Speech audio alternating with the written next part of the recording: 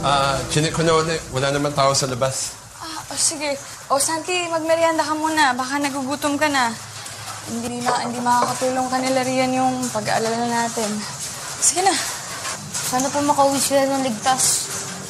Huwag kang mag-alala, Santi. Si Vian pa ba? Uuwi yun ng ligtas. Si Junior Mia. Oo nga, sige. Ah, di, di, ah, ako na lang. Ako na lang titingin sa bata. Ah, sige, sige. Salamat, Jack. Anak niyo po, ate.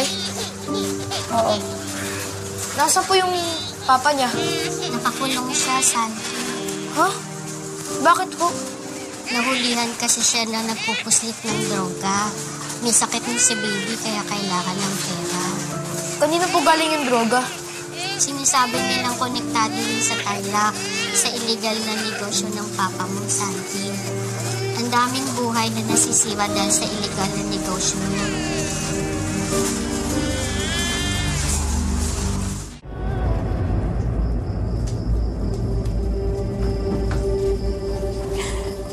Grabe po talaga yung pinagdaanan namin ni Mrs. De Leon, sir. Buti na lang talaga nakaligtas kami. Kasi... Kasi gusto ko pa mabuhay. Gusto ko pang maglingkod sa bayan. Nahuli niyo na ba lahat ng mga dumukot sa amin? Yes, ma'am. Pati ng mga tauhan niya.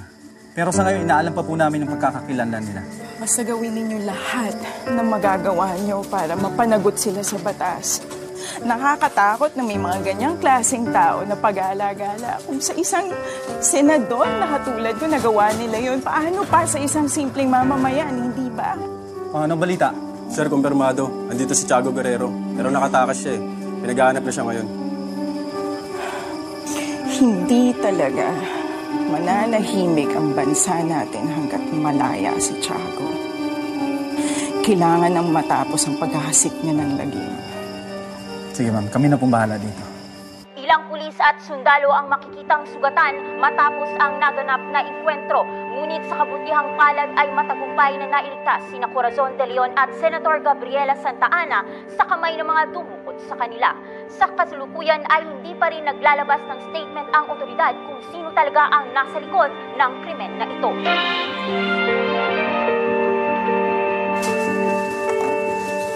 Oh, bakit niyo po pinatay? Buksan niyo po ulit.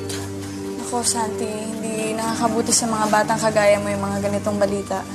Pero yun po yung totoo, di ba?